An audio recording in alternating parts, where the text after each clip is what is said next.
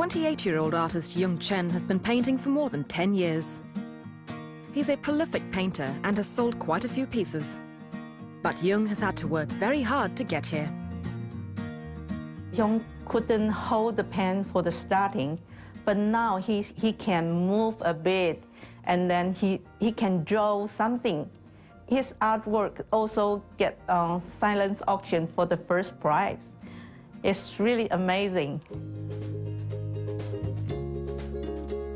Yung Chen has had cerebral palsy since he was a baby. He was just 10 when his family came to New Zealand. After he finished high school, Yung pursued his passion for painting, a passion encouraged by a very supportive mother. Every time I finish school, I, I always want to carry on with painting. He found a one one class, it's like Spark, and he joined there. For, for beginning, he still cannot use the pen very well, so he find a bit difficult. But I just say, if you like, you, you go. Yung attended the Spark Center of Creative Development. The center offers art programs for adults with various disabilities and Yung is one of the many who are reaping the benefits of art therapy. Our approach to art therapy here is absolutely about deep self-reflection and then equipping our artists with an understanding of technique so they can therefore create good artworks that um, express the personal meaning. So that brings about a therapeutic outcome.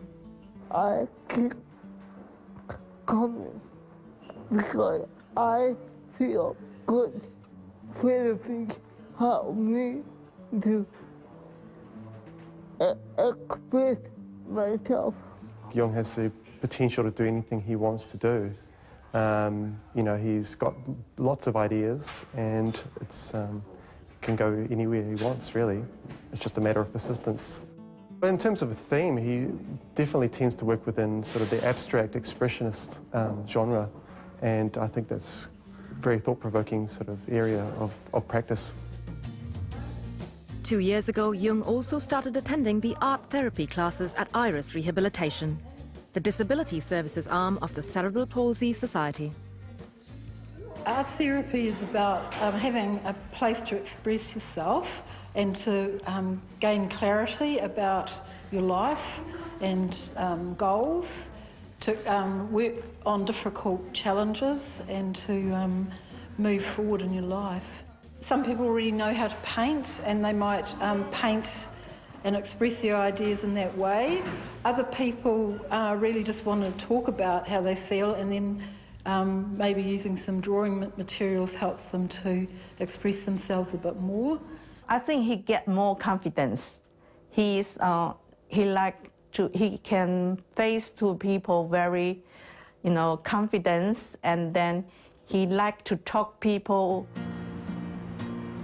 Adding to the confidence of the students is the pride they have in their creations, some of which are now showcased at Auckland Police Station.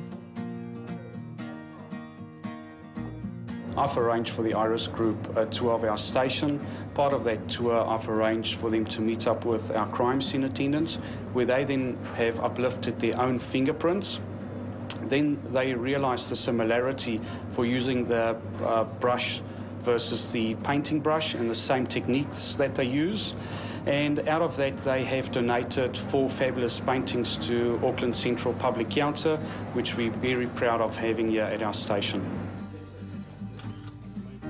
And this time last year, Yung proudly presented a collection of their paintings to Auckland Mayor Len Brown.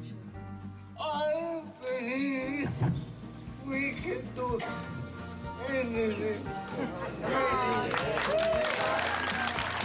Take it from Yung.